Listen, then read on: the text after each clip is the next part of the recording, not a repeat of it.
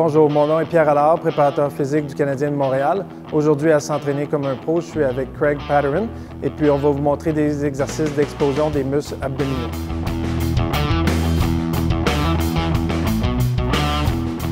Le premier exercice, on l'utilise en position vraiment assis. Ce qu'on veut, c'est avoir une certaine tension au niveau des abdominaux. Craig reçoit le ballon, touche le sol rapidement de l'autre côté pour me lancer le ballon. Je relance le ballon à Craig du même côté qui vient de me lancer. On peut aller, je dirais, entre 10 à 20 répétitions selon vraiment la force des abdominaux.